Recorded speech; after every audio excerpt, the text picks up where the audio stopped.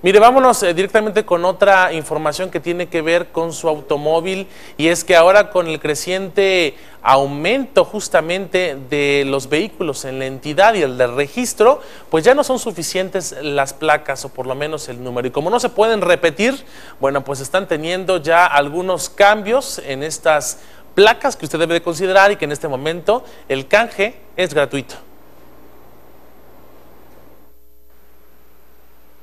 En 2014, la Secretaría de Finanzas ha ofertado la reposición gratuita de las placas que están dañadas. Sin embargo, para muchos, el nuevo formato ha llamado la atención, ya que las tradicionales tres letras y cuatro números se han transformado en tres letras, tres números y una letra más. Según la vigencia de tres años establecida por la Secretaría de Comunicaciones y Transporte, el cambio era necesario, pero además de ello, el avanzar el número de registros, la nomenclatura del formato AAA0000 se agotó y por ley ningún número de matrícula asignado podrá repetirse, entrando en vigor esta disposición el pasado 21 de marzo del 2013, cuando se publicó la norma oficial mexicana 001 SCT 2 2012, especificando el nuevo formato AAA 000A.